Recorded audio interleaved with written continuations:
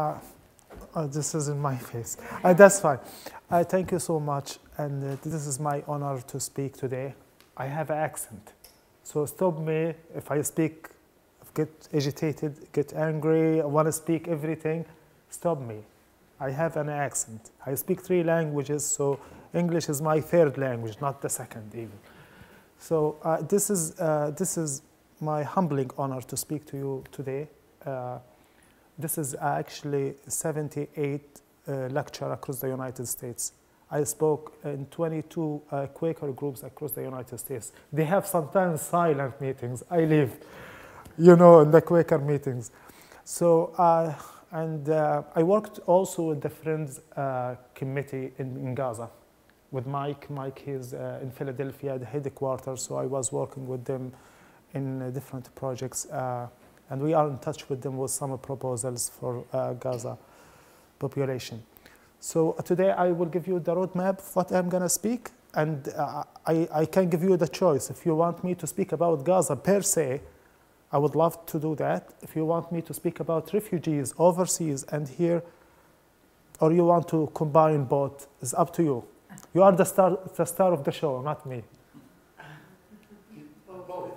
But so I will try. Uh, so I will take 45 minutes then, if I want to talk about this. Uh, so again, thank you so uh, uh, for inviting me. Thank you, thank you all for coming. That's mean that you want to hear the truth, and I will be as uh, objective and as honest as I can based on facts about uh, my talk, as much as I can. And you can stop me. I am not like a TED talk. It's not a TED talk. We conversation.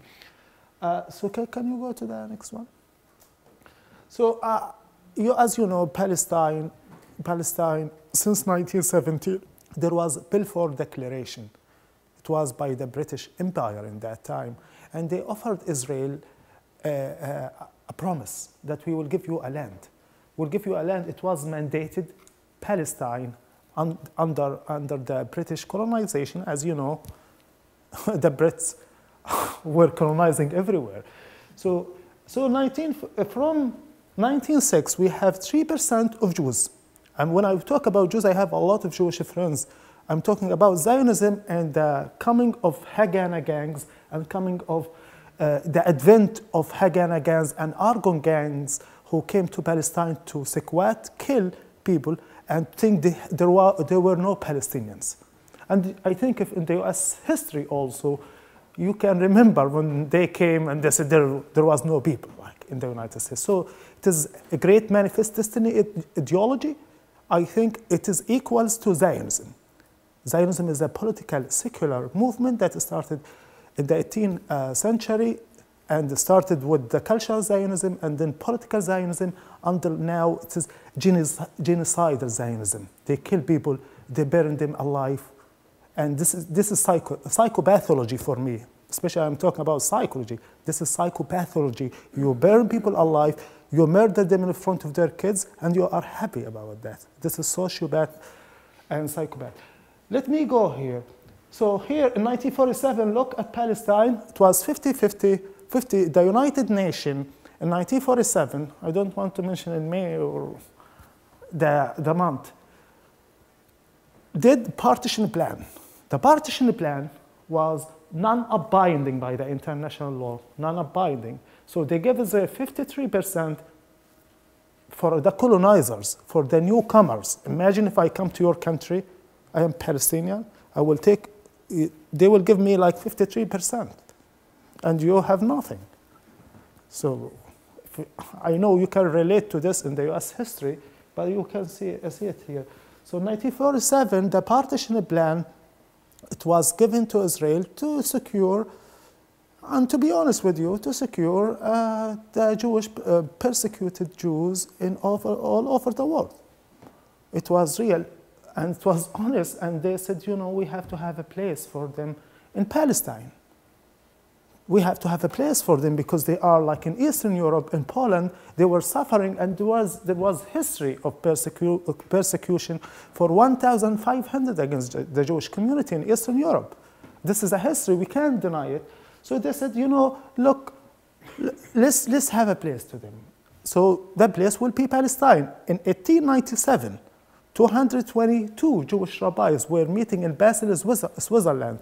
They were looking for a place to stay, and this is documented by their own resources. Argentina, Vermont, Texas, so they can come. But Eisenhower in that time said, no, this is a history. So, but they came to our country not as a refugee, not as uh, people who want to sit with us. They came with Irgun gangs to kill, to kill the indigenous people. They thought that it's a holy land, Jews, Muslim, and Christian, but turned out they actually they have no clue about Judaism. So this is 1947, as you can see, in 90, and this is the UN plan. You can see how Palestine, the, the white one, now is Israel. Look, about 1946, Israel in 1967, they took 22%. They, we have, they took, occupied all of Palestine. Before that, in 1948, we have, we have 20, 28%, 22% uh, of Gaza and the West Bank and East Jerusalem. And this is why I want to mention about the two-state solution that is a big lie because people don't criticize their own thinking. So, so two, uh, 22%, if you can see, 22%. In 1967, Israel occupied all of Palestine. Occupied all of Palestine, all of it, Gaza Strip, West Bank. That's why you hear in the news 50 years of occupation. No, it is 70 years of occupation since 1948. This is a real mistake in the US media, and actually it is intentional. The occupation started from 1947. And 1948, they killed thousands of people. They expelled more than 850,000 850,000 population out of Palestine. So uh, that's why we have 15 million refugees across the globe. And they, they destroyed, completely destroyed 532 villages completely. And these are also if you can read Ilan Pappé, he is Israeli historian. He wrote The Ethnic Cleansing of Palestine. There are different books uh, about like with numbers, with the, but all of them talk about more than 532 uh, villages that were destroyed. So look about Palestine right now, we have now just 7% of Palestine. That's why 7%, and within the 7%, can you go to the other shot, uh, slide? No, oh yeah, uh, no, the other one. So if you look, so we right now we have 7%, and you look it up. Every word you can look it up. I have business cards. Every word I speak debunk any fact that I'm telling you. These are facts. This is, I, there is no time for disagreements actually about it because facts by the international, by United Nations, by UNICEF, by UNDP, by all of the international organizations. They are objective and by American delegation like Flynn Committee. They were there and they were writing. So look at Gaza. Gaza right now is I, what I call it is a combination of Warsaw Ghetto and a concentration camp. Why? Why you call it a Warsaw Ghetto? Because in 1941, 1944, the Jewish community were digging tunnels in Warsaw, in Warsaw Ghetto. They were digging tunnels to feed their kids. Right now in Gaza, you cannot cannot even dig the tunnels to feed your kids. I spent five hours going uh, all over Gaza to find diapers for my kids. Five hours. I couldn't find them. In Gaza, we are in the 21st century. So Gaza is under siege since the last, how many years? Since 2006, since February, uh, August 16, 2000. Six, they are under siege. They are under occupation or colonization. I don't call it occupation because occupation, someone come and go. But settler colonialism, someone come and he has no place to go. So there's a difference in terminology. When I speak, actually, I'm very clear about terminologies. Occupation or colonization. There is different. I don't call it occupation. It's like the French when they occupied or colonized uh, Algeria. They left but we are dealing with settler colonialism. And some people said, you are subhuman. You are cockroach. You are nothing. Every day. Every day. And we are hearing, we are the indigenous people, we are hearing it every day. Not, they are not willing actually to mediate or negotiate that we as a human being we can live together even. We are okay with allowing our oppressor to live with us. But our oppressor, because he has $4 billion every year from the United States, he has $660 million military aid. He said, you know, I mean, if I am in his shoes, I will stay like uh, $4 billion. Every Israeli uh, got $750 a day. Look it up. Every Israeli got $750 from the US taxpayers. Please look it up. Every Israeli. But numbers. So this is Gaza. I was looking actually about this uh, town that I cannot pronounce. pronounce. I know it is indigenous land, um, but it is 2,000, according to this uh, statistics in 2010. The population in your town is 2,000 people. Very exciting. You know, in Gaza, in one mile, we have more than 7,000 people. Like imagine we have four miles of all of this area, beautiful area, that I wish I came in the day. imagine Gaza is the most populated area in the world. Gaza is an open air prison. People are dying every day. My mom, she couldn't go to Egypt for medical treatment. She is dying in front of our eyes. We can't do anything. This is siege. Kids, we have women, 20, 2,000 women with breast cancer, they cannot go overseas for medical treatment, and no one is listening, no one is reading. Imagine if they are the Israeli. Oh, imagine if there are two, not 22,000. Imagine there, why we have cognitive dissonance. In psychology, we call it cognitive dissonance. Why you have cognitive dissonance? Why it is okay? They are a human being like you, but imagine they are Israeli. And those are colonizers. This is history. We can't, I can't deny it. Imagine if those are Israeli. We have talking about kids, 320 kids, they need uh, to process. I really cannot remember. Uh, yeah, yeah. The, yes. 320 people. How many? In di dialysis units in Gaza, we have 45 dialysis uh, units, machines. They are not operating. Why? Because I will, I will tell you why. Can you go to the slide? So, so I will tell you why, why they are not living and why they are dying slowly. And Gaza is moving actually from a slow motion genocide into a fast motion genocide under 1948 Convention on the Definition of Genocide. It's not our definition. 1948 Convention on the Definition of Genocide. We, all of the international community are with us. We have 221 international laws with us, except the United States vetoes any, any, any, any, uh, any law for Palestine. We don't know why until now. Why 221 international laws? I mean, it's too much, I mean, against Israel from the international community. But there is veto powers like the United States, okay, but veto. And it creates xenophobia in the Middle East without no reason. And why people hate me?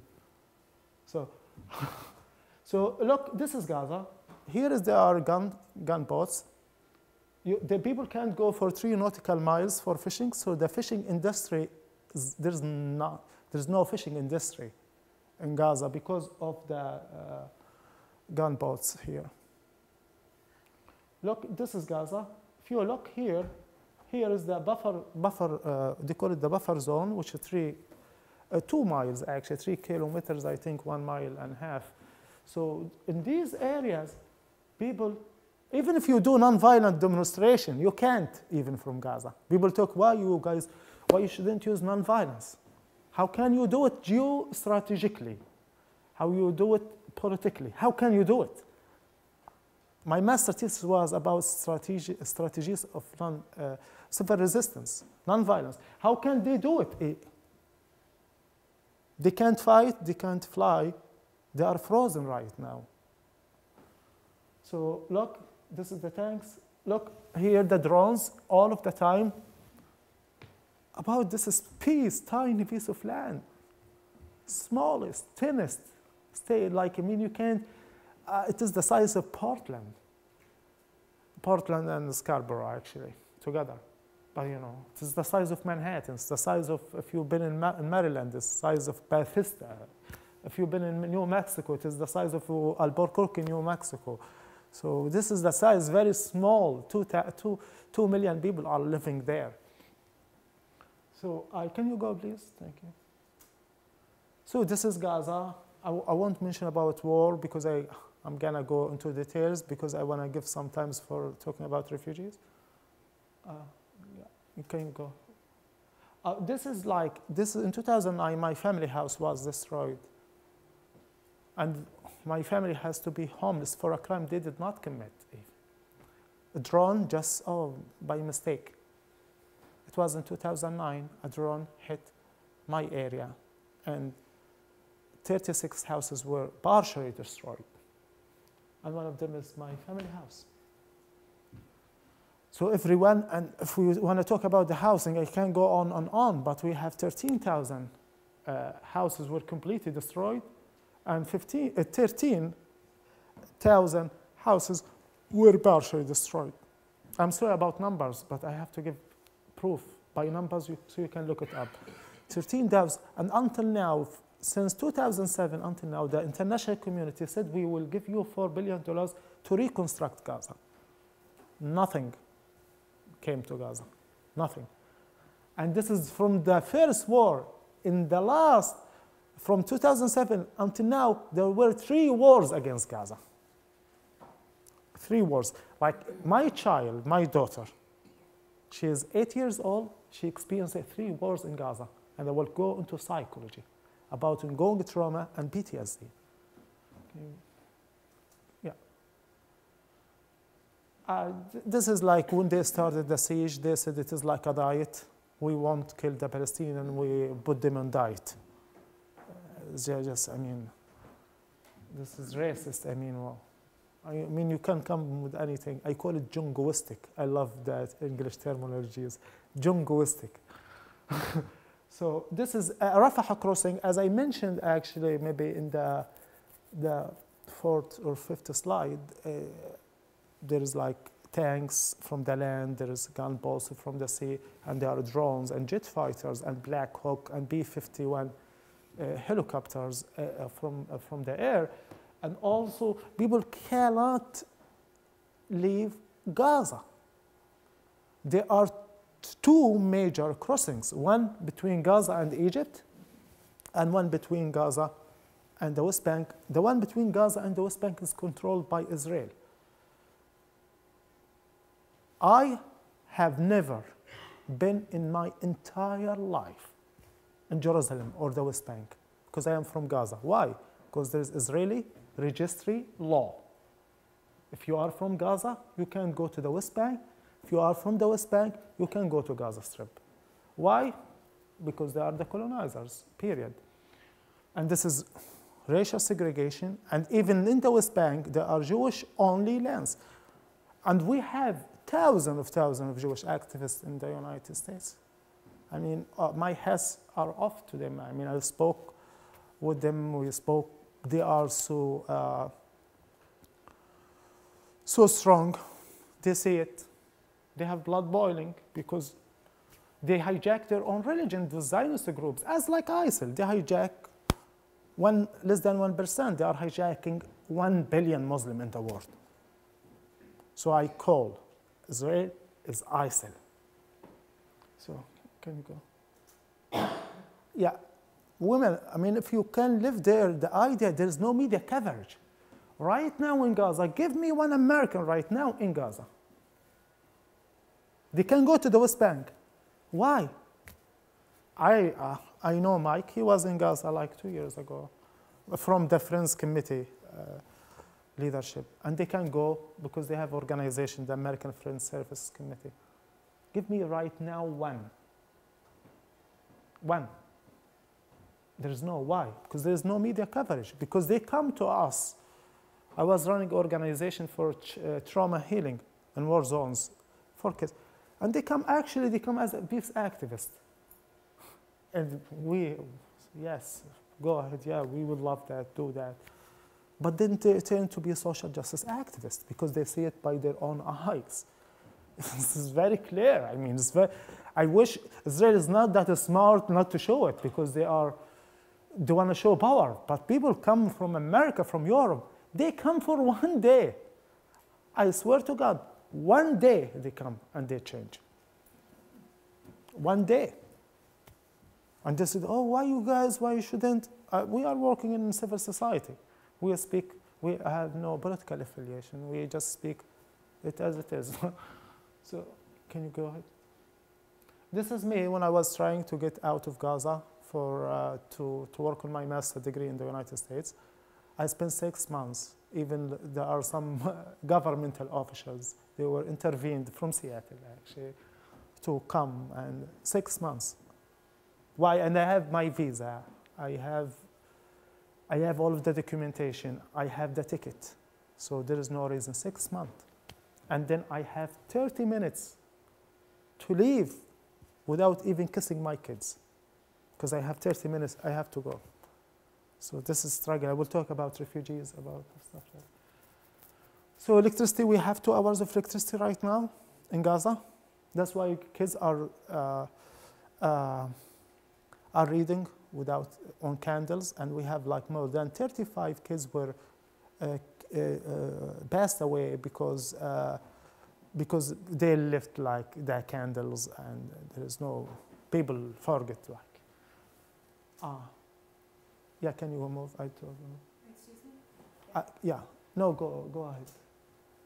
Yeah, as I told you about the numbers, I bought all of the numbers for you. I was giving a lecture in Newport, New Hampshire, but I did not change the PowerPoint because exactly the same uh, audience. So this is the number in Gaza. 50% of the beaches were found to be contaminated because Israel is drawing the sewage. And because there is no electricity, when there is no electricity, you can't, I mean, you, you can't generate, there is no electricity. So the sewage goes to the sea. So right now we have 35% in the last year that the beach are contaminated. It is the only place for joy and fun because it's a very small area. So people, 50% are contaminated, and no one actually, there's no funding for international organization even for that. 72% of Gaza population from food uh, security. This is from the United Nations, not from me. Actually, the 72. 9% under the poverty line, 60% is under the uh, underemployment rate, also from international organization. 700 children need a quick psychological intervention, PTSD, ongoing trauma, acute stress disorder, ADHD, and mental health disorders. This, uh, this is about the exit in the last year because Israel tried to, to push you, to choke you more and more. And people get actually more resilient, which is they try in psychology to understand it, they have to go there and see. There is a book actually uh, for Viktor Frankl, The Search for Meaning. He was in the Holocaust camp and he wrote about uh, the search for meaning. And I can relate what people like get resilient, even they are under uh, immense pressure and under too much murder, because by the end of the day, the human part, body, soul, mind, and heart for people like when they are under immense trauma, they seek for a vision in life or a meaning. That's why people said, you know, we have to fight for our country. Whatever, even if we speak the word, just speak the truth. You don't do anything bad. Just speak the truth. You will find hearts that will hear you. Yeah, can you? Yeah, about, um, thank you for helping me to spell, uh, ah, yeah, enzyme deficiencies. 240 babies with enzyme deficiencies, no therapeutic milk, they will suffer lifelong development, developmental problems. Uh, cystic fibrosis, is it right? How I, yeah, because you know, I told you I was. I actually checked what Merriam-Webster about how to pronounce it because I read it some fibrosis. Right? So, so uh, these uh, these are uh, this is one of the examples of why people are suffering and do, no one is listening and they are dying slowly. And I just want you to imagine for one minute if it is if, if we are doing this for Israel, what the international community will be. Why? Why people don't listen to those people like who are suffering every day for a crime they did not commit? For a crime they did not commit just because they are Palestinians. Just they happen to be Palestinians. They happen. We have Jewish community like in Palestine. They are against Zionism. Why they are against Zionism? They are against segregation. They are against against murder. Is ag- against the ideology that can give you the power to kill another one. I mean, this is. Yeah, go. I talked about this. Can you go ahead? I want to give time. Uh, uh, yeah. Uh, can you go ahead? I will speak about trauma. Uh, oh, by the way, I'm sorry. This is uh, when you you have to do uh, to do the PowerPoint. Uh, I just want to inform you that will be emotionally disturbing photos. If someone has PTSD or someone who doesn't like to see these photos, please, yeah, like forgive me if you can go outside. If it is okay, I have to take your permission. There are some photos, okay? Go ahead, please. So those are the kids. In Gaza, we have 532 children were killed in the last war. Gaza is the nation of children.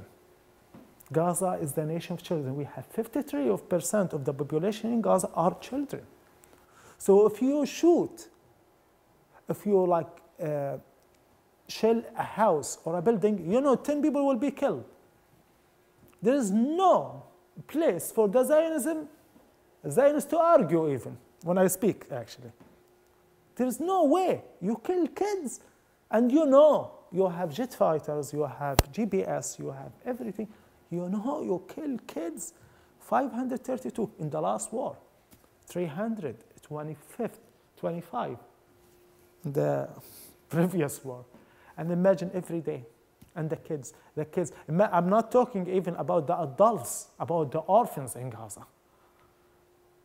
I'm not mentioning about the orphans. I don't want to give you a say, wow, about the orphans in Gaza. They live without their daddy, they live all of their lives. All of their lives. And they knew that. They knew that, they knew that, they actually, the Israeli Human Rights Organization, which I uh, put my hats off to them, like Ge- Geshon, uh, like uh, Gosh uh, Shalom, like uh, B'Tselem, Israeli Human Rights Organization. Every word that I mentioned here, it was also mentioned in the, in the, in the Israeli uh, Human Rights Organization. So we are not coming from the uh, bringing some ideas to influence people. These are facts. So those are kids. Imagine if in a trauma, and I will speak about trauma and then I will speak about refugees after this. A trauma. You know, in PTSD, uh, post-traumatic stress disorder, I, I, you know there's a camera, I don't think there is PTSD in Gaza. There is ongoing trauma. People live every day with it. If you call it post-traumatic stress disorder, post-traumatic stress disorder comes after six months of the traumatic event. People who has a car accident after two days, like, has sense of denial, guilt, what happened, why I did, why I didn't care. It happens in the human nature. But PTSD comes after six months.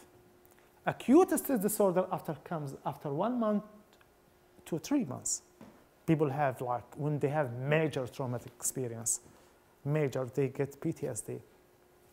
But with us in Gaza, we are dealing with ongoing complex trauma. That means there is no non-stop. Every day, the kid, when he goes to the street, the kid is innocent. I mean, the kid is innocent. Um, uh, they have no clue about religion, about God, about anything. They grow up, you took them to church or synagogue or a church, and then you just train them. This is uh, human nature. So Every kid, every kid goes every day and they see destruction of houses. They said like one of their brothers or one, they were killed in the last war. One of their friends in the school they were killed. The kids sometimes they laugh, they laugh, but they knew deep inside there is something going on. Why? Why us? I worked with kids for five years. I created a project, Let the Children Play and Heal. It was funded by the Middle East Children Alliance in Berkeley, California. This project, we are not about going into details because you know I am program manager. I like to go into details, but uh, but what we are doing, we were doing to help kids to discover trauma and refer them to psychiatric or uh, some psychological consultants. We found that kids in the drawing, I will show actually uh, by, uh, at the end uh, how the kids, when we do writing therapy for them, how they can draw what's in their minds. Kids are the most innocent people, and they cannot actually be challenged, especially in Gaza. Uh, One reason, one proof actually, once there is an Israeli psychiatrist, he was in Israel Channel 2, he was speaking Hebrew. He said, I really want to understand why kids in Gaza, when we destroy a building, they go to see what's going on. They, I mean, we, wa- we destroy that building, but uh, after the- we destroy it, we look from uh, uh, cameras and we see them because they grow up with this. They have never seen peace in their lives. It is stupid to, to, to tell people about peace when you are raped every minute, when no one even hears you that you are raped. This is the high, they're not, it happens to you. The high is continuous. This is ongoing trauma. This is ongoing every day. Therefore, un- unemployment rate 90, uh, 60%. Imagine a man he cannot give his uh, his son a shekel. Shekel is the Israeli coin, or let's say 50 cents in American currency. Every day. Why? And we have the highest rate of PhD candidates in the world. And look it up. Gaza has the highest PhD candidates because every family, from their income, 80% goes to education. I have four brothers and four sisters. All of them are educated. My sister has a master's degree, and I have a master's degree. And, and, and my brothers, everyone is educated, especially women, for different reasons. Can you go ahead? So, this is my friend in Gaza. He asked me, because I speak everywhere, if you go anywhere, please tell them that I miss my daughter. I lived here for, he is like some man, you know, breadwinner, goes to work and come home. Nothing. He came and he saw his daughter were killed. Look at her, how, how beautiful she is. I mean, a human being like. I just, I told him, I'm not gonna speak anywhere in the world, anywhere. And to show the photo of your, uh, of your uh, daughter, because she deserves for people just to challenge their comfort zone, comfort zone. That just challenge it for one minute to seek humanity, at least to sleep tonight after this talk. Can you go ahead? So, as I told you about the search of meaning, people, kids are looking for meaning in life. Why God us?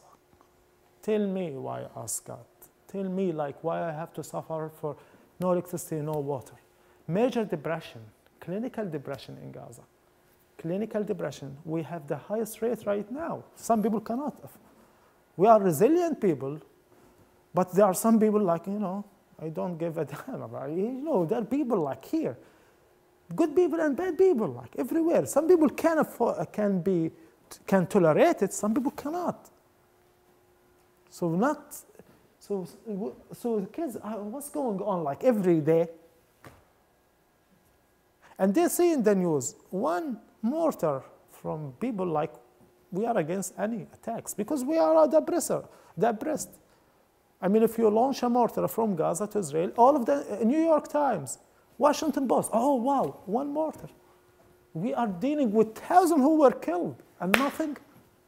But I, I don't want to go to the influence of the Israeli lobby in the Congress and the Senate, and also the Israeli lobby, and even uh, everyone knew it in Washington.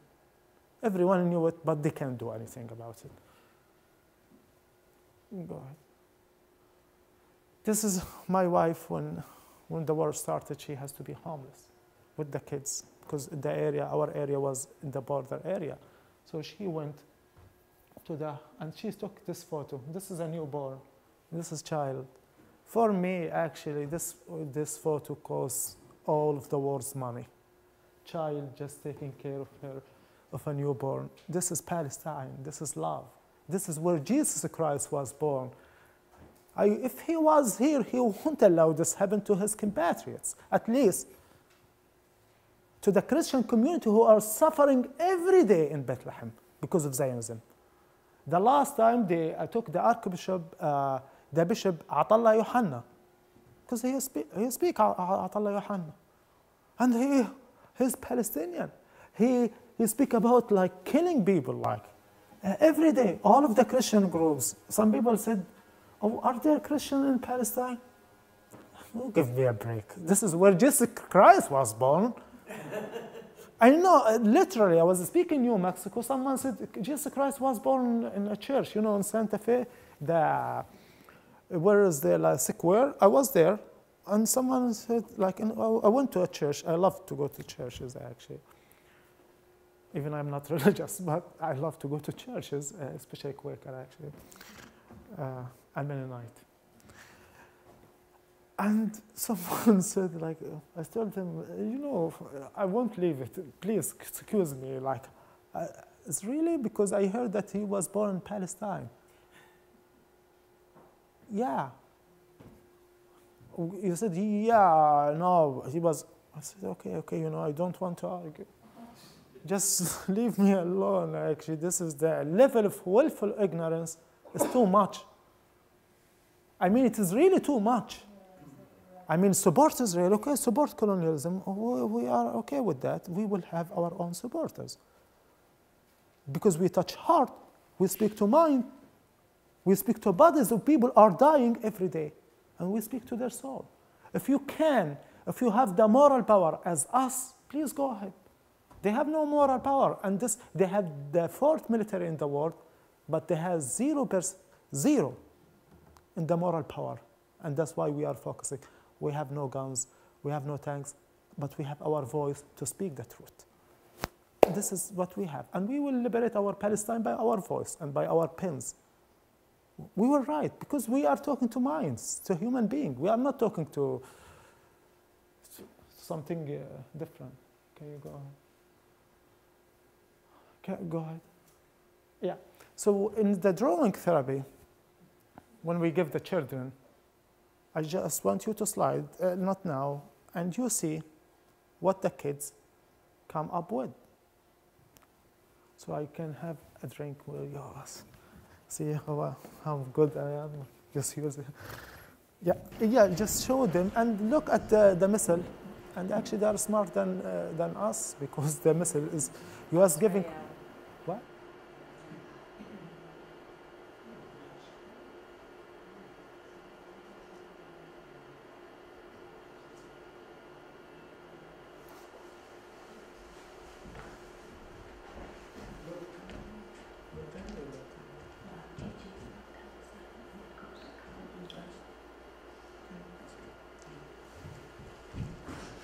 Yeah, this, this is the photo before, after we finished finalizing.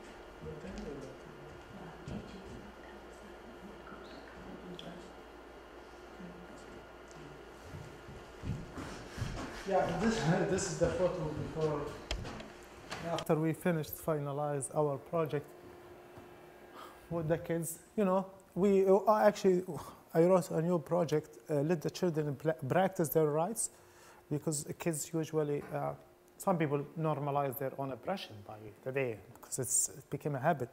So we teach them about their own human rights, about uh, that you have the right to play, you have to right to a safe place, but we are under colonization, and that's, you have to know that. So we, we teach them also while they are going that, I'm sorry, be patient, uh, stuff like that.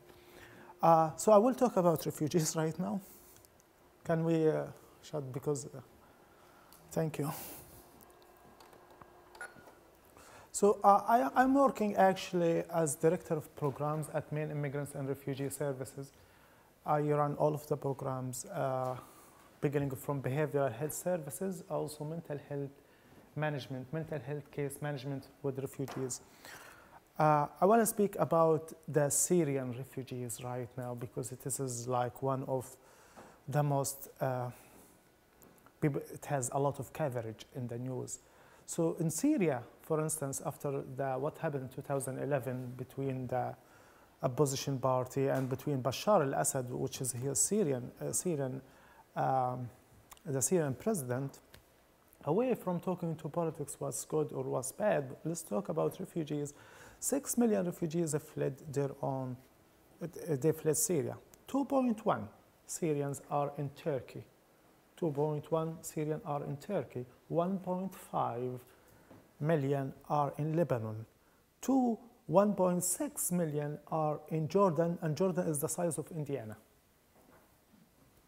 We have more than 60 million, 60 million refugees all over the world, all over the world. They are in the refugee camps. United States accepted less than 1% of the total refugees.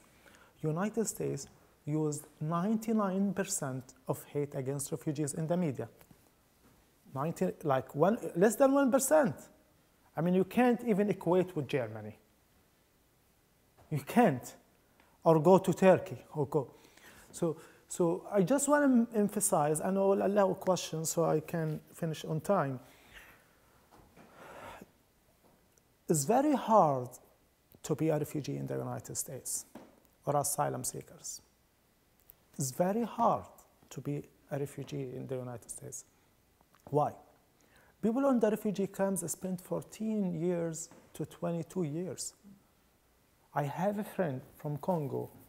I have clients also from different areas. I have a friend from Somalia, 14 years in a refugee camp, 14 years in a tent, 14 years until they come here. And they did not choose, actually. They come, the international community come, and they say, you, you guys, where are you going to go? Oh, when I go to Germany? No. The US system, how it works. It's very important to know how, how it works. The international office, the OCHA, the, office, the United Nations uh, Refugee Organization, they said we have refugees here and they take care of their camps in the refugee camp. Right now in Zaatari, Zaatari camp is the biggest one in Jordan. They call it Zaatari camp. What happens? The International Office of Migration. What happens before the International Office of Migration? After the refugee become a refugee like he fled, they call it first asylum country. It means he left from his own country to a neighboring country. That's called first asylum country. First asylum country. There, he wait, can wait four years, five years, seven years, 15 years. He should be lucky. And most importantly, he can't go to other areas to, to work. And what we call it in refugee terminology is urban poverty. Like in Jordan, they are in Zaatari camp on the border. They can't go to Amman. If they want to go to Amman, they cannot work. That's why we call it urban poverty. They go to the urban areas and they become, uh, uh, they're still poor. I mean, this is what they call urban poverty. After what happens, after like you are, you are okay, they ask refugee uh, program. It is a federal program. Come to go to um, to go to to Zaatari or uh, anywhere. I'm just giving you an example about Zaatari camp. You will have the Department of Homeland Security. You have the intelligence officials, USCIS, U.S. Committee for uh, U.S. Uh, uh, Custom and Immigration Services. They will go there and they will hold an interview with the refugee. How many interview? Different, several interviews. And after the interview, it goes to 10 national intelligence agencies in the United States. 10. It goes to biometrics, about fingerprinting now. Everything, they check everything. So people said, you know, I don't want to go. I mean, so much, like 15 years, four years. And most of them, they have, they are, they have family here, like one. I am a dad, I have one, and uh, my kids or my family are there. So those are refugees. There are different kinds of uh, here in the United States. There are refugees, there are asylees. Asylees, the difference between asylum and refugee, some be, uh, just before I go, because there is a huge difference. Asylum who are who have who came, who secured to come into the United States, and they ask a permission or ask a protection from the United States based on a well-founded fear. A well-founded fear. It means well-founded fears comes into five accounts religious persecution, like if you are from Iraq and you have religious persecution because you are Christian or Muslim or whatever, you can seek asylum, but you have to have what they call it corroboration letters, evidentiary letters. You just can't come here and just, I will apply for asylum. It's not easy, actually. Because the law is very, very strict. So I just, I want to make, I want you to, to know like how it is tough. It's not easy, actually. And the second one political orientation. You have you are against you, a political party, and they uh, they will kill you or they will put an ambush to kill you. This is asylum. Or people come here. The third one is uh, sexual orientation. People uh, they are gay or lesbian, whatever they are overseas, and they can they come here. They can seek asylum. So this is the third. The fourth one is belonging to social grouping. Like, for instance, in Iraq, there are a lot of social groups. This is like Yazidi, it's just a group, uh, different, like in the north of Iraq, and they may have some persecution from the Arab community or from the Muslim community for any reason, like they can seek. I'm giving just one example, like. And the fifth one, I really forgot it. no, the fifth is also imputed political opinion imputed political opinion, that means that you, you feel because of your writing, you came here and you started to write, you started to be free, and in your home country, people recognize you and there will be a danger if you go home. So this is different. Refugee come from refugee camps. They apply from there. Asylum come here and they seek protection, which is, so what we do, we have usually people who come, as you know, uh, people come with a trauma. Trauma can be lasting. And especially with people from Middle East and other areas because there is no, there is a stigma also related to, to therapy. Like in Palestine, we have no office of therapy. We have Gaza Mental Health Foundation, but the therapy office, like talk therapy, or you go just talk, and we use group therapy, which I think it is the best one actually in dealing with trauma. But people like with mental health disorders, like psychosis, like schizophrenia, schizoaffective disorder, and all of these uh, is very hard because there is a stigma. So people die and they suffer every day. Uh, um, I think uh, I will uh, go to the Q&A.